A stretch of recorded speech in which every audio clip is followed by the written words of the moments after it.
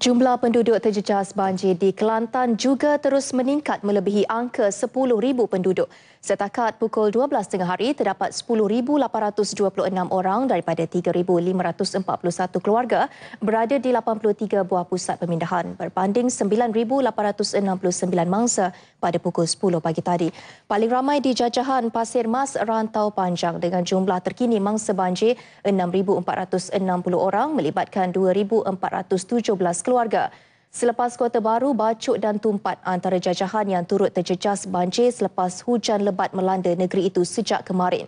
Sementara itu, tinjauan yang dilakukan mendapat melalui udara mendapati banyak premis perniagaan di sekitar Pekan Rantau Panjang yang merupakan kawasan membeli belah zon bebas cukai di tenggelami air sejak dua hari lalu menyebabkan premis-premis perniagaan terpaksa ditutup.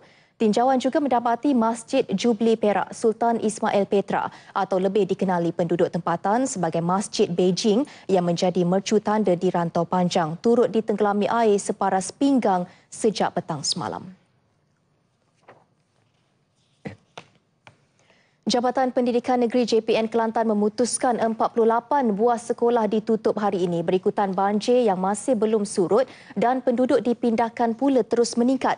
JPN Kelantan dalam kenyataannya menjelaskan penutupan itu menyebabkan sebanyak 15,084 pelajar terjejas kerana mereka tidak dapat meneruskan sesi persekolahan. Penutupan sekolah melibatkan lima jajahan terjejas banjir iaitu 24 buah sekolah di jajahan Pasir Mas, 9 di Kuala Kerai, 6 di Tanah Merah, 5 sekolah di Tumpat dan 4 di Macang. Kesemua sekolah terbabit ditutup sama ada sekolah dinaiki air atau laluan ke sekolah ditenggelami banjir.